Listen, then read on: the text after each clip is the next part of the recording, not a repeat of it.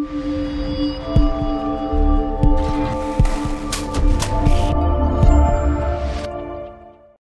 السلام عليكم ورحمة الله وبركاته. حياكم الله يا أحباب. أتمنى يا رب تكونوا بألف خير إن شاء الله. أهلا بكم مع أحمد صالح وبلقاء جديد في صناعة المحتوى الاحترافي في برنامجنا الممتع Microsoft PowerPoint. بلقاء اليوم رح نتعلم كيفية تصميم مخطط SWOT لكن بتقنية slide zoom بحيث أنه أنا يكون في عندي هذا المعرض الجميل اللي أنا أبدأ بالانتقال لأي قسم رئيسي من هذه الأقسام من خلال النقر ومن ثم التوجه بتقنية ال slide zoom مثل ما شايفين على الشاشة. ففضلا وحبا وتكرما من حضراتكم ضغط مفتاح اللايك وترك التعليقات ونعمل مشاركة لهذا الفيديو. وأيضا إذا كنت ضيف جديد على قناتنا بنتشرف فيك اضغط مفتاح الاشتراك وفعل مفتاح الجرس ليصلك من أحمد صالح كل جديد. ويلا مباشرة لحتى نشاهد الإعلان ومن ثم نبدأ بلقائنا الجميل والمتميز مع حضراتكم لهذا اليوم.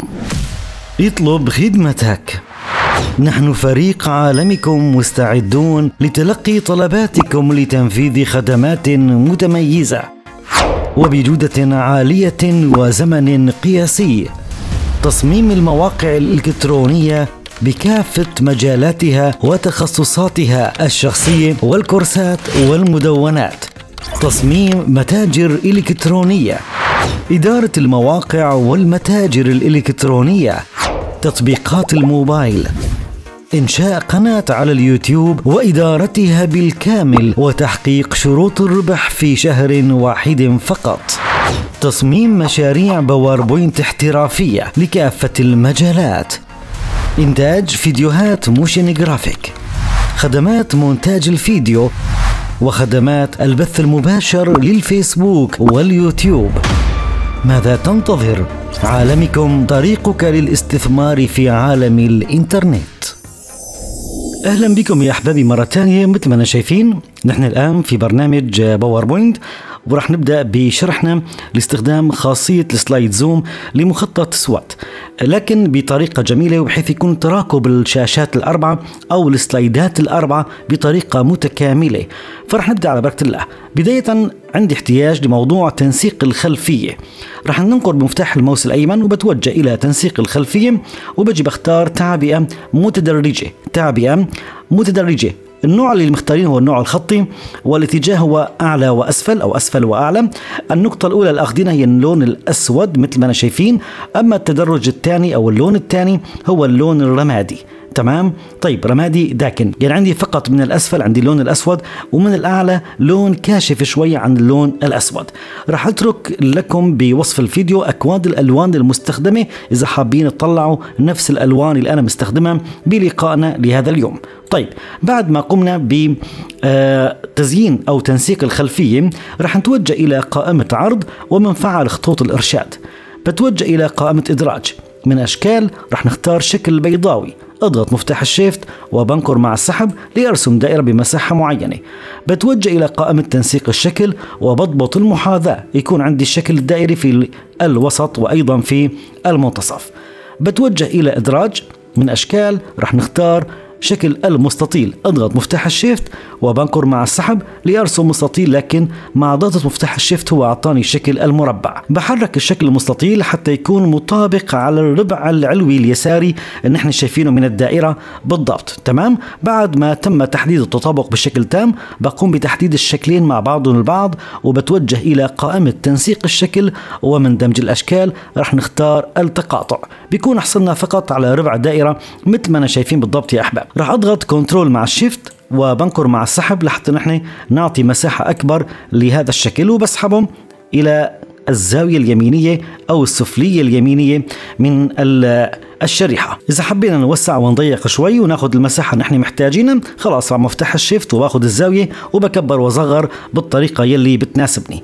لحتى أضبط المحاذاة بشكل أفضل بتوجه إلى تنسيق الشكل وأنا محدد على الربع الدائرة اللي نحن رسمناها وبتوجه إلى محاذاة وبختار محاذاة إلى اليمين ومن ثم محاذاة إلى الأسفل عشان الموضوع تطابق 100% بختار منها كنترول زائد دي أي تكرار. أضغط شيفت و بقلل شوي من مساحته. كمان بنفس المبدأ بختار محاذاة إلى اليمين ومن ثم محاذاة إلى الأسفل لحتى أنا أعطي هذا التطابق مثل ما أنا شايفين بالضبط يا أصدقائي.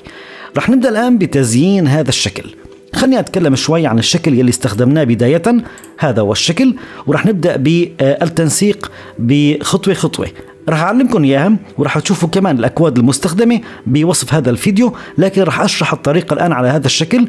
خليني أوسع بس الحرف على طرف. تمام على هذا الشكل وراح ننسخ التنسيقات وناخذه لحتى ما أطيل عليكم بهذا الفيديو كتير. الآن الشكل العام لتنسيق الأشكال. الشكل ياخذ معي عبارة عن border اللي هي الحواف وعبارة عن آه، التعبئة اللي هي ال fill.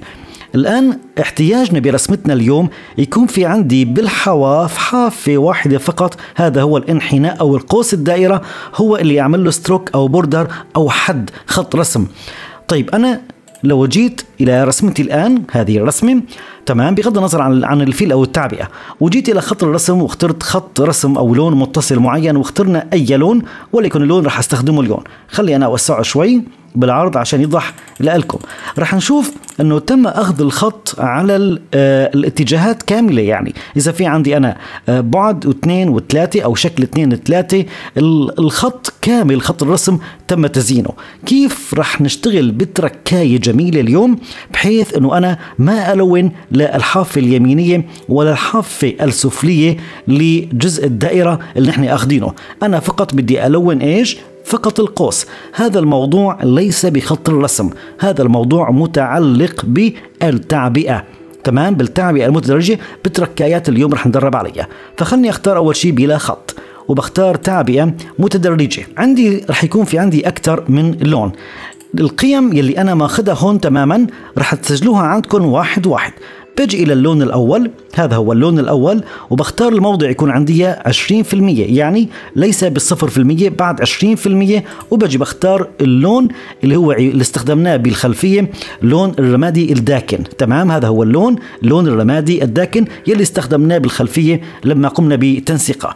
طيب بعد منا راح أضع اللون الأسود. هذا اللون الأسود تمام؟ لون أسود قاتم يعني لكن بيجي بالموضع وبضع 69% 69% طيب عند ال 70% رح نضع هذا اللون أو أي لون أنت بتختاره بتصميمك يعني بضع هذا اللون.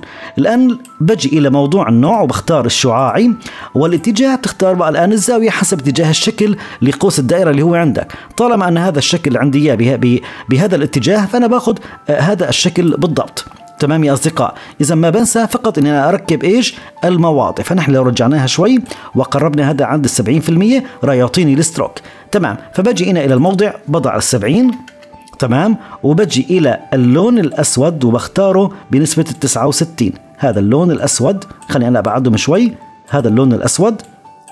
أول شيء بنختاره 69 تمام. وبجي إلى اللون الثاني وبجعله 70 تمام؟ لحتى ما يحصل هذا التدرج ويكون معي على شكل ستراك. بخدعة بسيطة بيكون قمنا بتنسيق الشكل بالطريقة يلي بتناسبنا ومنرجعه طبعا إلى المكان يلي هو كان عليه.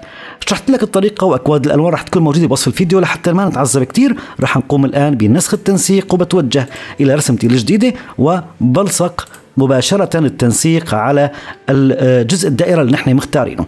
بنفس المبدأ خلينا أرجع المحاذاة يكون عندي إلى الأسفل ومن ثم المحاذاة إلى اليمين ليرجع الشكل مكانه 100% رح ننقل الآن باليمين ونختار تكرار للشريحة. بالشريحة الثانية أنا محتاج أعمل قلب لهذول الأشكال يكون معي بالناحية الثانية. بجي إلى الشكل الأول وبتوجه إلى تنسيق الشكل ومن استدارة بنختار انعكاس عمودي. وبرجع بختار محاذاة إلى الأعلى وبرجع بضبط وبتذكر بتذكر أنه المحاذاه رح تكون معي لليمين. بجي إلى الشكل التالي نفس المبدأ بقوم بعكس من خلال الاستدارة باتجاه أو انعكاس عمودي وبجي إلى محاذاه وبختارها للأعلى وبتأكد أو بضبط أن المحاذاه إلى اليمين. نفس المبدأ بنقر باليمين وبتوجه إلى تكرار الشريحة. هذه الأشكال محتاج يكون عندي يد اليسار فبحدد الشكل الكبير نتوجه إلى تنسيق الشكل ومن استدارة بختار انعكاس أفقي وبرجع إلى محاذاة وبختار محاذاة إلى اليسار. 100% الأشكال متوافقة معنا. برجع بحدد الشكل الثاني وبتوجه إلى الاستدارة ونختار انعكاس أفقي. وبجي إلى المحاذاة وبختار محاذاة إلى اليسار لحتى نحصل على هذا الشكل. بنكر باليمين وبنختار تكرار للشريحة. بدي أعمل برضو كمان انعكاس. باخذ الشكل الكبير بتوجه إلى تنسيق الشكل واستدارة باخذ انعكاس عمودي. ومن المحاذاة باخذ محاذاة إلى الأسفل. الشكل التالي بنفس الطريقة استدارة وانعكاس عمودي. والمحاذاة تكون معي إلى الأسفل وانتهينا من رسم الأشكال. فيني فقط أنا أرجع أرتب لحتى أشوف هذا التكامل الجميل.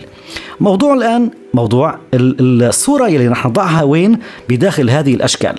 طيب طبعا موضوع الصور رح تشوفوا الروابط موجودة بوصف الفيديو لتاخذوا المواد اللي أنا بستخدمها سواء كان للصور أو كانت الألوان وكل شيء رح يكون جاهز إن شاء الله. بجي إلى الصورة هذه الصورة وهي بنسبة ال 16 على 9 يعني هي على قدر مساحة الشريحة بالضبط ما راح تعذبكم نهائيا. بختار control زائد C وبجي إلى الشريحة الأولى وبختار control زائد V خلني أتوجه إلى تنسيق الصورة ونعطي إرسال إلى الخلف. بجي بحدد الآن الصورة بضغط مفتاح ال shift وبنحدد هذا الشكل وبتوجه إلى تنسيق الشكل ومن دمج الأشكال راح نختار التقاطع. لحتى أنا أحصل على هذا التقاطع الموجود فقط لموضوع الصورة تبقى معي على هيئة الشكل ذاته. بجي إلى الصورة الثانية كمان بختار control زائد V وبعطي كمان إرسال إلى الخلفية بحددها مع الشكل الثاني من تنسيق الشكل بنفس الطريقة بنختار التقاطع.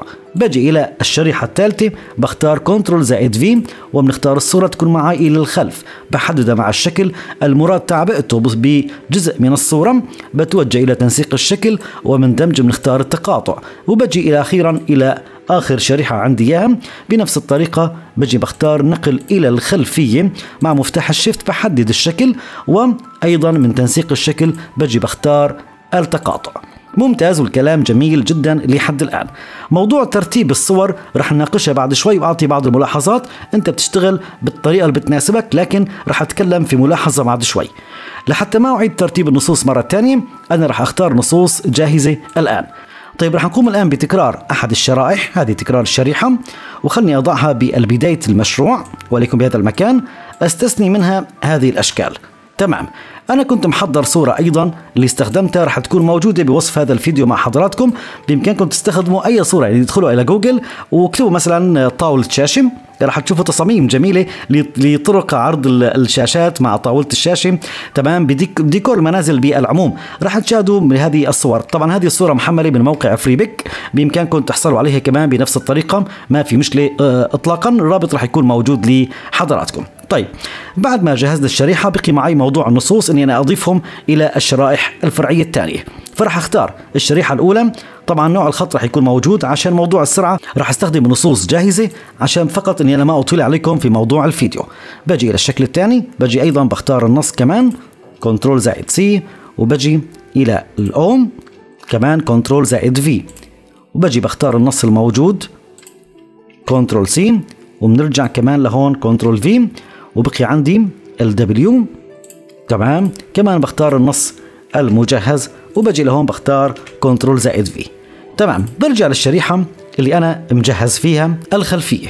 بتوجه إلى إدراج بتوجه إلى صورة وبجي بختار صورة الشريحة وهذه هي ميزة slide zoom.